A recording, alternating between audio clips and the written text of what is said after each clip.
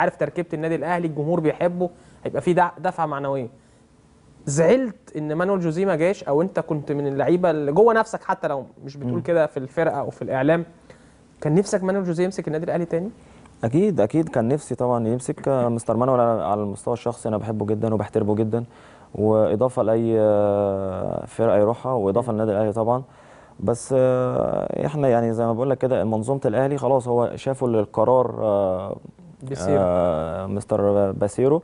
خلاص لازم الناس كلها تقف معاه وأنا أنا شايف يعني اللي في آه، هوجة معمولة على الراجل. قبل ما يجي. يعني مم. يعني أنا مش مش فاهم ليه. يعني الراجل إن شاء الله بإذن الله يبقى كويس ونسيبه بس يشتغل. مم. يعني مستر مانويل أول ما جه ما يعني ما كانش يعني ما عملش آه. آه ما عملش بطولات. آه ما عملش بطولات. جه هنا النادي الأهلي عمل بطولات في النادي الأهلي.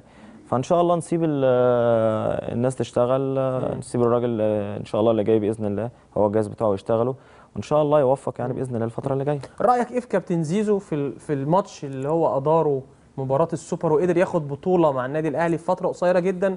وزي ما أنت قلت لي كابتن زيزو كان يعني بيحاول نفسيا معاكم يرجعكم تاني ثقتكم في نفسكم ويلم الفرقة بعد بعد ماتش أورلاندو وبعد خسرت من خسارتكم من نادي الزمالك في الكاس. يا كابتن زيزو يعني الفرقة مش غريبة عليه يعني هو مسكنا قبل كده آه فعارف الفرقة وهو كان في لجنة الكورة وعارف ال ال الناس كلها بتفكر إزاي وأكيد كان بيجي له طبعا كابتن فتحي بيدي له طبعا التقرير.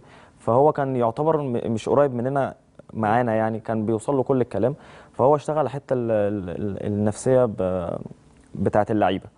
هو كابتن زيزو